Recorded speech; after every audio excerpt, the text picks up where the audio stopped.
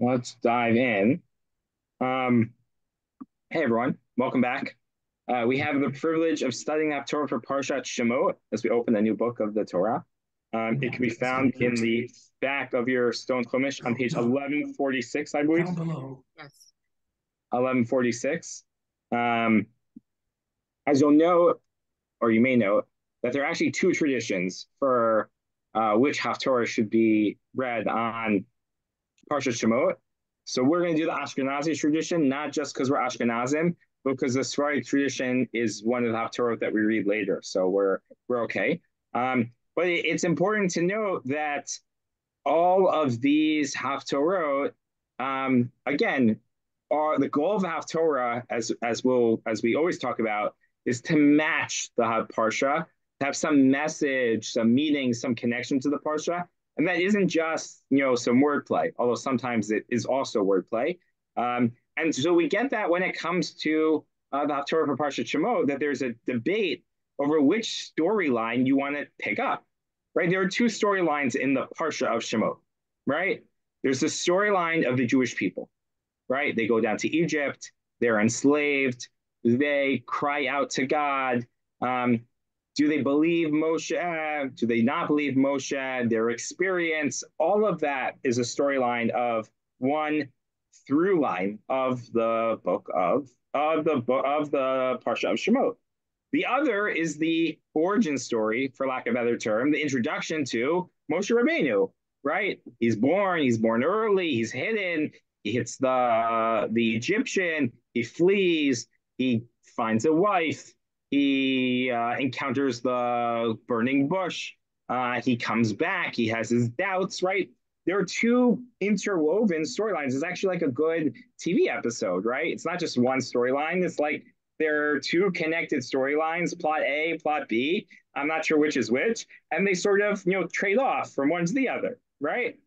So which one do you choose when you want to amplify a theme from the Parsha? So for the Sephardic tradition, they choose uh, whatever we'll say uh, plot A, the story of Moshe, the story of Moshe, and so their Haftorah is all about what? Where does their Haftorah come from? It should be in front of you. just turn the page. Yahoo. Yirmiyahu, Jeremiah. It's the origin story of Yirmiyahu, who is, we'll look at this when we see these Nibuot during the three weeks, who is the story of a prophet emerging that is most similar to Moshe. There's a lot of metaphors and similes and imagery that are used. That is also the Moshe imagery. Yirmiyahu was sort of um, uh, cut from the same cloth of Moshe intentionally. And so we read that because it's all about the story of cultivating the next Jewish leader, right? And so the Haftorah amplifies and foils the story of Moshe and Yirmiyahu, and there are things to be learned about that. At the same time, our Haftorah is actually about the sprouting and the flourishing of the Jewish people. We're following plot B, which is the storyline of how the Jewish people emerge in Egypt flourish in Egypt, even under difficult circumstances, and ultimately leave Egypt. Um, and do they leave Egypt because they merit it, or they leave Egypt because they don't merit it and they had to leave? Right? Is tshuva process in this? All of that are parts that our Haftorah amplifies and talks about. And so, right off the bat, when we see this division between the Haftorah of the, from the Sephardic community, Edot HaMizrach, and the Ashkenazi community, we actually see that there's an there's a there the difference in tradition is actually predicated on a really uh, important what we would say in halachic terms nikudat hamachloket right? There's a point of departure between these two different things. One is which storyline are we going to follow? The Moshe storyline the individual blossoming of an individual leader or the national storyline? And so we follow the national storyline. So that's just i just want to note that excuse me we're not going to talk more about the storyline of Yirmiyahu because A, we cover that in the summer when we get to the three weeks, and B, we're Ashkenazim. But I just wanted to highlight that so at least we know when we're flipping through, oh, what's going on here? Sometimes, you know, Haftorah might start in a different place, but this is two totally different Haftorah, two totally different books um, and really predicate on two different storylines. And, and by the way, I'll just add, and I, I mentioned this before, so if you remember, you know, it's just good review. Excuse me. Don't know. Um, one of the interpretive methods for looking at how we understand, let's say, the primary um, theme that we're supposed to take from something is going to be looking at what the Haftorah highlights. So, for example, I give this example all the time. When we look at Ma'amad Har Sinai, look at Theophany, the moment where God reveals to the entire Jewish people. There are different ways that you could what what's going on there. So there's, uh, you know, to, to there's the text of the actual Ten Commandments, right? Thou shalt not, thou must, thou do this, thou do that. and not just that, the Mishpatim, the different laws that are provided, also all of that tie in uh, to that. So that, that's interesting. Sorry about that. Um, so I was saying one of the things that um, in interpretive structure, when you get to the the the revelation, to theophany, to Ma'amad Har Sinai, so there are different ways that you can understand it, right? What's the primary message we should take it? Is it the laws? Is it the text? Or is it the context? Is the experience of engaging with God? You could make an argument both ways, but over and over again, the the the Chazal, our rabbis, when they chose the Haftorah, they actually highlight the experience, right? Over and over again, when we read when we read Ma'amad Har we read about the Ten Commandments on both later in the book of Shemot, we'll get to it, and um, uh, on obviously Shavuot, Shavuot morning, the choice of Haftorah is about the experience of standing before God right? The beginning of Yechezkel. Um, the Ma'aseh Merkava of, uh, of, uh, of, of Yeshayahu. Um, all of those are chosen uh, to highlight the, this point, right? That when we look at the experience of Ma'amad Har Sinai Theophany, part of what we're supposed to take from it isn't just the laws that we got, the dry experience of transmission of information from the ultimate lawgiver, the Almighty, to Moshe. It's actually the experience of standing before God, the experience of standing in the divine presence, the Shekhinah. That's what we're supposed to take from Har Sinai. That's what the Haftorah highlights, right? So the Haftorah actually, just by choice of what theme to highlight, is an interpretive structure of sorts. And obviously, here we have a debate under which one it is, right? So what our Haftorah is, Yeshayahu is uh, Yeshayahu in particular chapter uh, 27, um, beginning verse uh, verse Vav. We'll see that that's a unique verse to choose. Um, beginning verse Vav. And in general, Yeshayahu is, uh, this is a hard half Haftorah to read. Part because you have to lay down some framework as you're trying to understand, and that will push you in two different directions um, uh, just diving into our Torah. So you have to make a certain question about what we're referring to. And we'll see that there are actually two divergent, there are more than two, but we're going to look at two divergent ways of looking at Torah.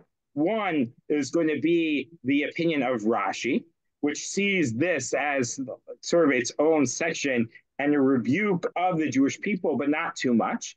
Whereas the Radak, the Abarbanel, and many others see this as a much more wonderful, wonderful vision of the of, of the Jewish people, and therefore it's not negative at all. Um, and we'll, we'll get to that in a second. Um, how many you, many of you are following along in a Stone Chumash, right? So the, the first verse, it's sort of, we sort of jump in mid section to this Haftorah. We're not starting at the beginning of a chapter.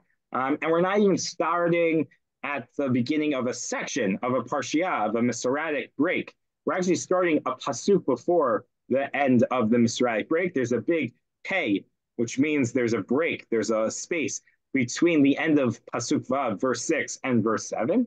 Um, and this is uh, going to be something we'll come back to in a second. But the beginning of chapter uh, 27 is part of an image of a big um, uh, a big uh, vineyard. Bayomahu, I'm reading. It's it's before what we're talking about. I actually can share my screen for those who would like to see. And I can put it in English also. Thank you, Sefaria.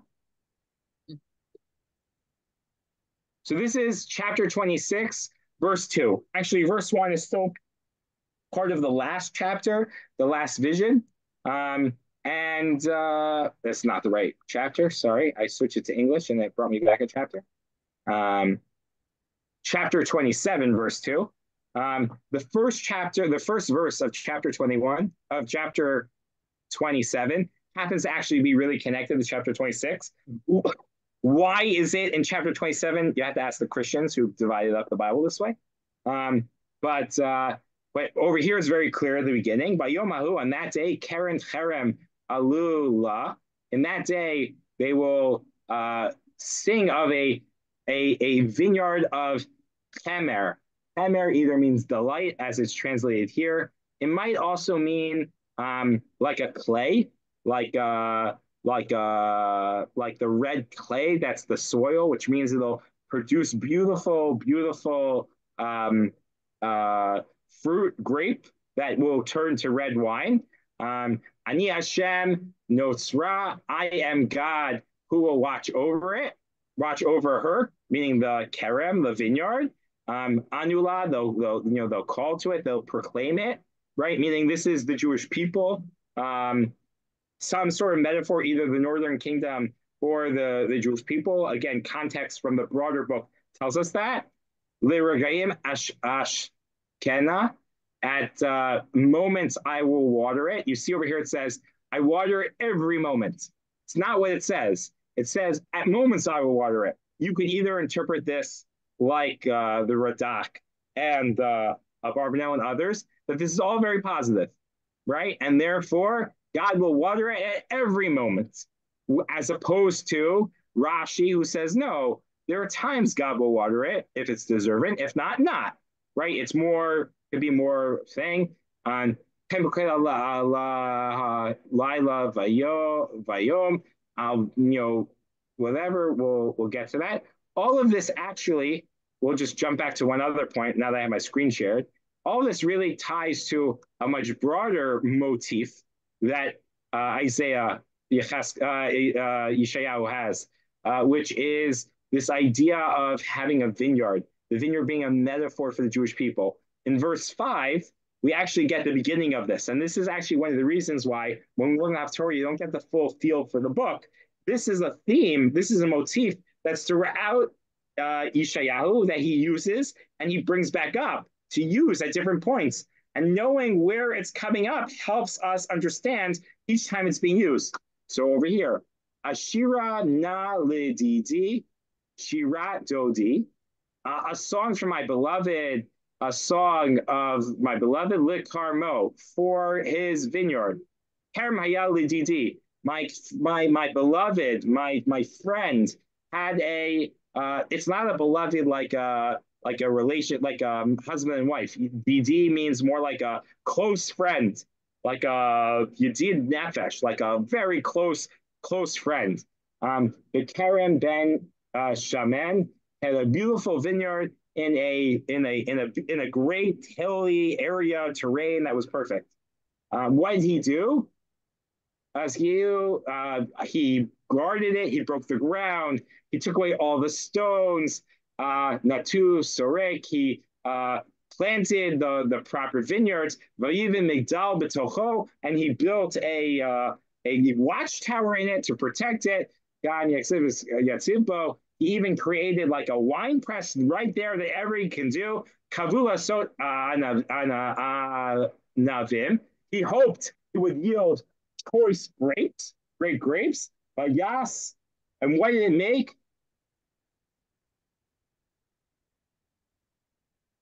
What did it make?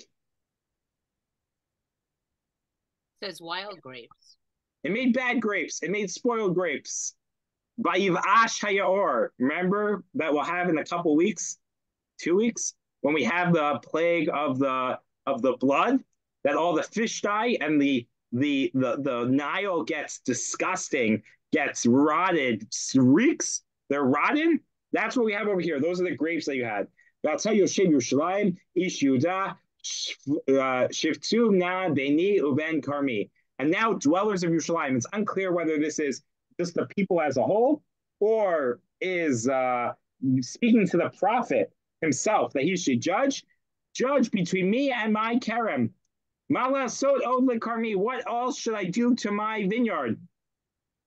Below asiti lo, that I haven't already done. Madua uh, uh, ki viti lasot anavim. I hope that it would make yield grapes, bayas, but instead it made uh, rotten grapes. It made vayivas, right? It's this disgusting. Um, Vata otena etchem et asher ani osele karmi. I'm going to tell you what I'm going to do to my karam.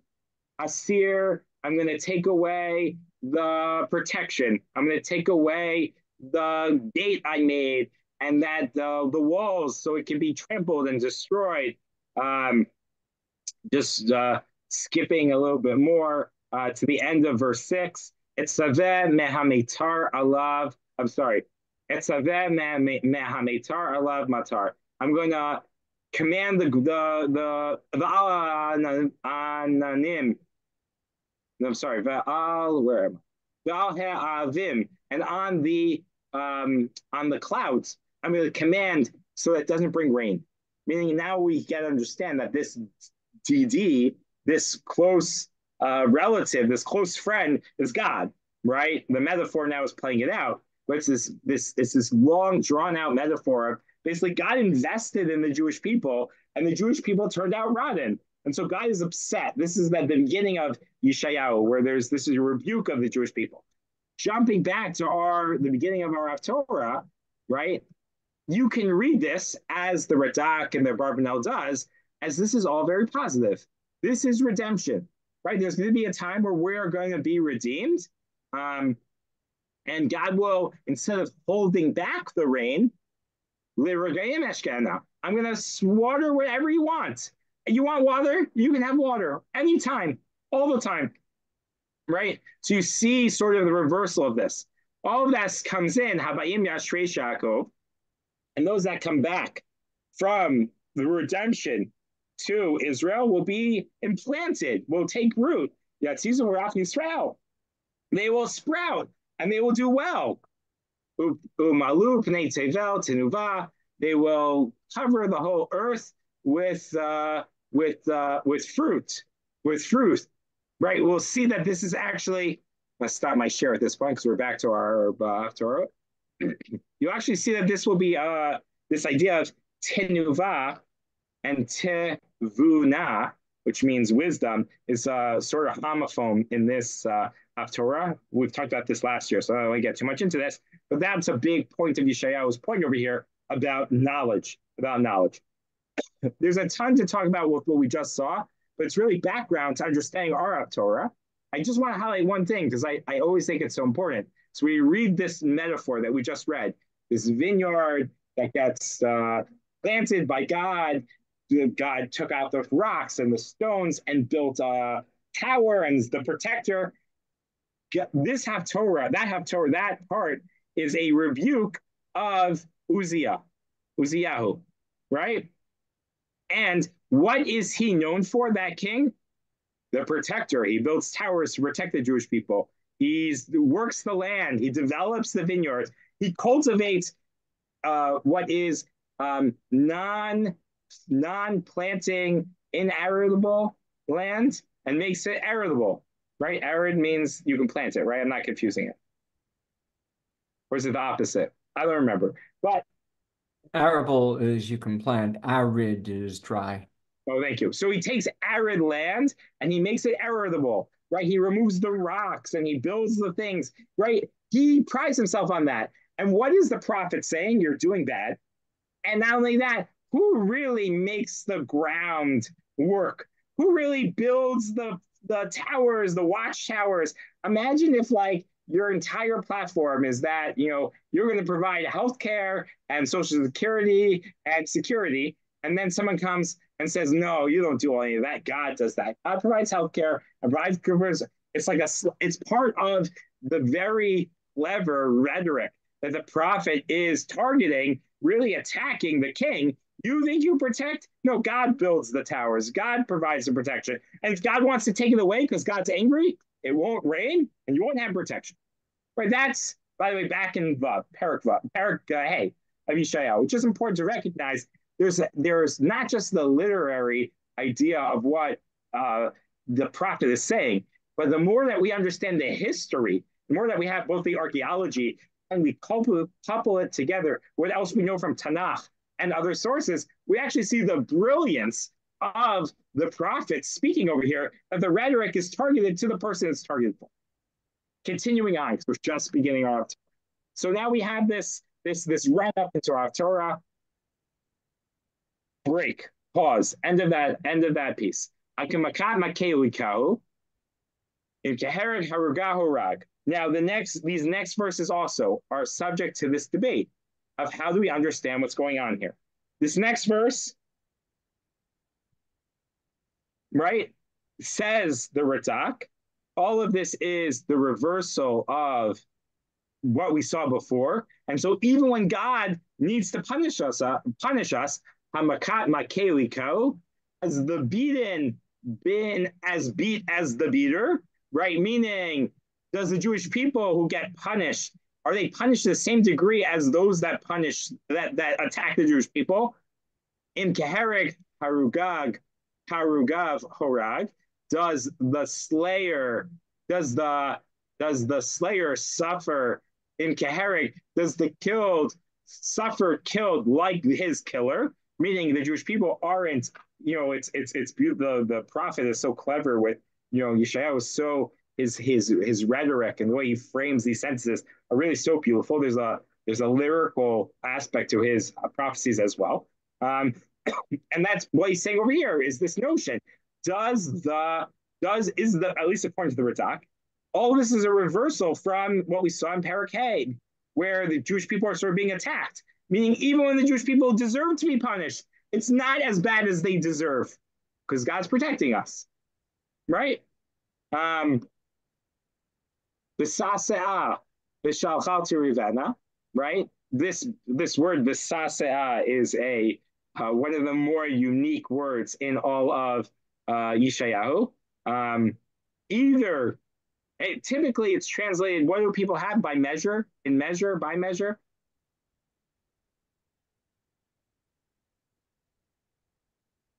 Anyone?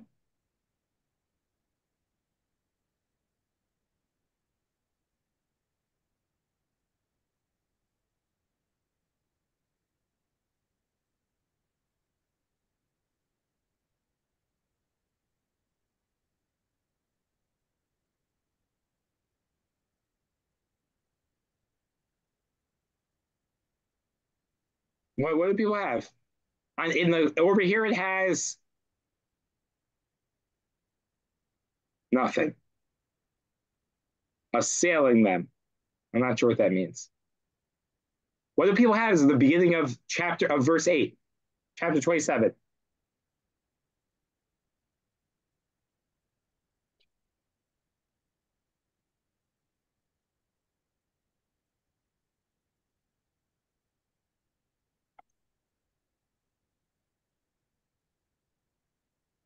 I'm not sure exactly what you're asking, Rabbi. Just in, he, in, if people have the English in front of them, correct the ArtScroll, chapter yeah. 27, verse 8. Why do they translate Basasa? According to the measure of sin. According to the measure of sin, exactly. So what does this word sasa mean? So says many of the commentaries, which your comment, your English commentary follows, it is short for sabisa, a measure, sa is a large and dry measure. Um, uh-huh. It's a very large dry measure. So sabasa, measure for measure. We have an idea. The Gemara in uh, Sota is the primary place where it talks about this. That minayin sha'adam shebemida moded bo modin lo. that a person gets judged by their measure, right? We get punished, mida, kenega, mida, measure for measure, or the, the way I measure other people is the measure God uses against me. How do we mm-hmm. know? Shenamar, as it's written, that when a, pers- when a person receives in measure what he measures out, how do we know? Sa by sa, she requires for you should fight with her, meaning that's the case. So then the Gemara says, all right, that's great. Ainli elasa. That's on the big things, right? Sa's a huge measure. Minayin, the Rabos Tarkav, the Chatzi Tarkav. How do I know that it includes a three kav measure and a 1.5 kav measure and a kav measure and the kav the rovekav, the all of the other smaller measures. How do we know that it's not just big picture but small pictures also? So the Gemara tries to prove that. But this is the locus classis for this idea of measure for measure. The sa visa, the sa sa, which is this idea of this this this connected piece. And again, we see this uh, this this connection of that even that it's only measurement for measure that we get that we get punished. Continues on. Let's just go a little bit further. Um, new. This is the next part. Lachen. Therefore. This is how Jacob will purge his sin, um, and this is how the the all of the offspring, the pre, again, this continued metaphor of the fruit will remove its uh, its uh, its guilt, its sin. The sumo called name is Beach, and they give him the vessels. When they're no longer uh, any of the idolatry and the the uh, cultic, foreign cultic worship idols, idolatry and uh, uh, uh, sherim are like the like the the the worship uh, outposts. Um, Ki ir bitzura badad nave mushlach v'ne'azav kamidbar sham yira egel v'sham yirbos v'chilat seufah. What will happen? Ki ir bitzura badad, a fortified city, if they don't do tshuva, will be badad.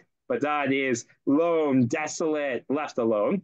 Nave a uh, uh, umshulach, a uh, a beautiful area will be considered uh, uh, forsaken, left. Um, Benezav Kamidbar, left like a wilderness, like a desert. Sham Ego, Sham It'll be like empty, plowed over. People will graze, animals will graze there and lie down there, and they, they'll consume the sifim are like the thickets, the thorns that grow out. There'll be uh, there'll be nothing there, right? So what's Divosh Kitzra to Shavarna? Um, its crown will had this beautiful crown on its head, will be withered and break. Nashim ba'od mirotota. Women will come and burn it, right? It's like uh, nothing the same. Kilo ambinotu, for there are people without wisdom. Alkain lo yirachameo oseo. Therefore, God will show them no mercy.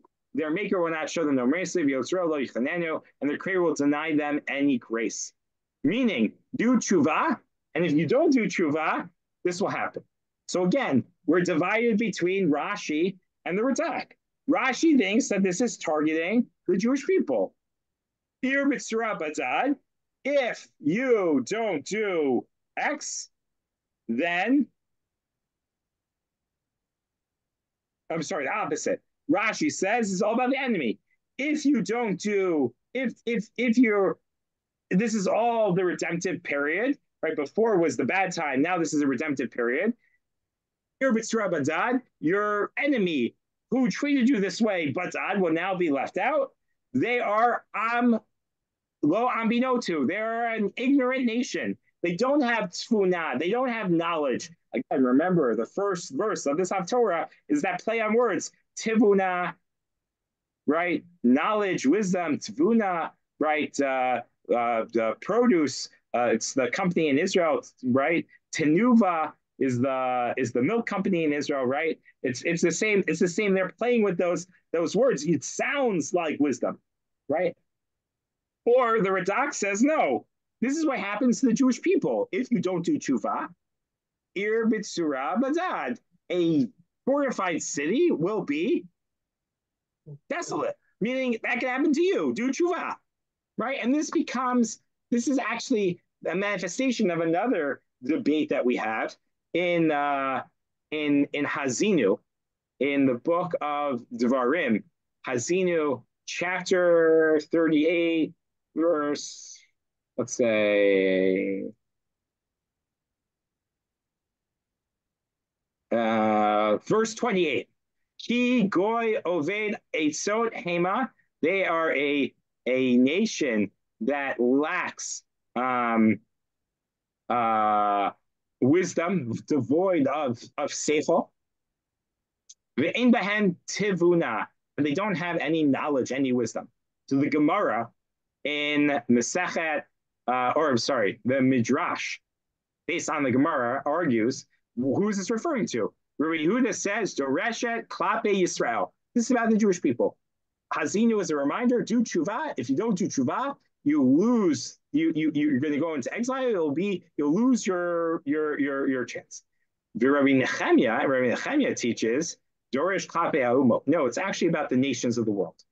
Right? And again, this is exactly the same debate we're having right here between the Radak and Rashi. Is this about the Jewish people, or is this a promise in redemption that this will happen to the non-Jews? Let's go on, pushing a little bit further in Torah.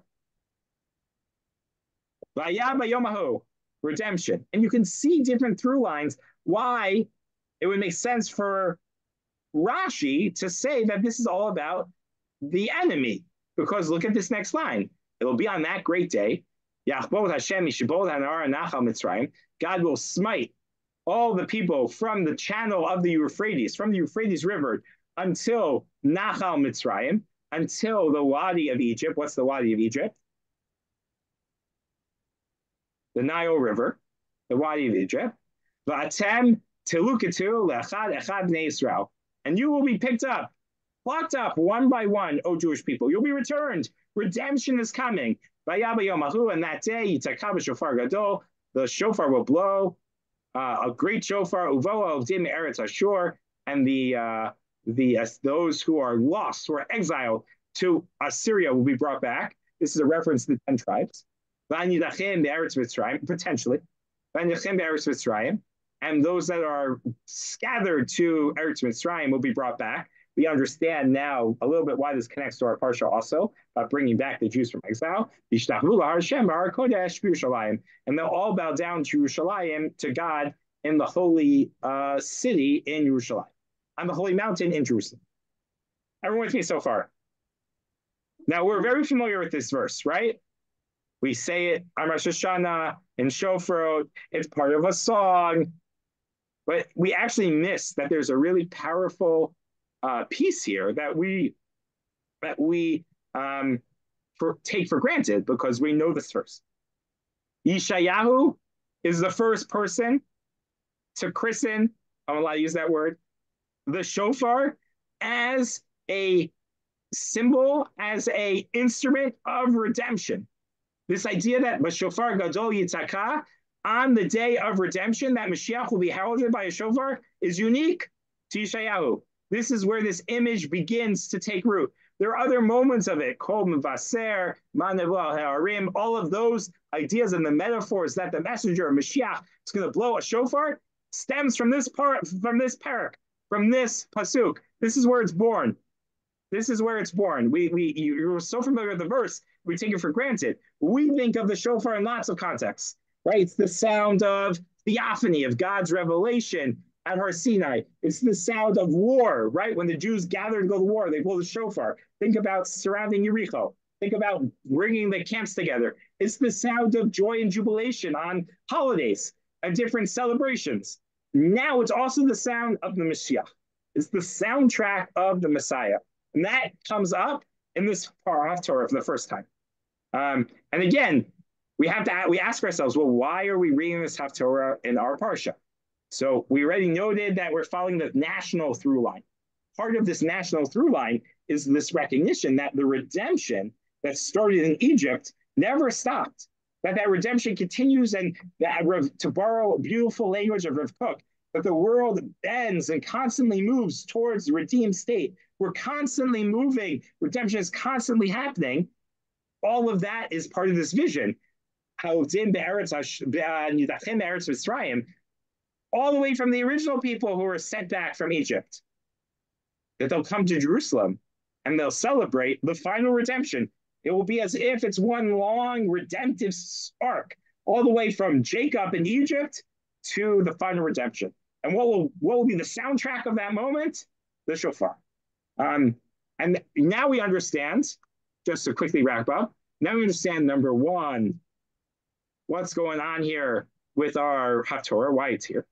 Number two, we understand a little bit this debate between the Radak and Rashi. On the one hand, there are different pieces that push us, chapter five, to make this think about that this is a positive spin on that initial uh, image. And then Rashi sees this as being drawn from verse 12 and 13 of this chapter, that this is all about some end of days do tshuva, and if not, this is what can happen. So we actually, there it's hard to put them together. You can understand how the Radak and Rashi both need to sort of contend with the variables. They're going to choose some of them to be primary, and they're going to work out the other ones. Um, there's a lot more to talk about. Next year, we're going to talk about the second half of the Haftorah, which is a new chapter and a new discussion, which we're not going to have time to get to right now. But we're going to stop here. We have 20 minutes for Israel from Israel in a moment. So I'm going to pause the recording and let people in.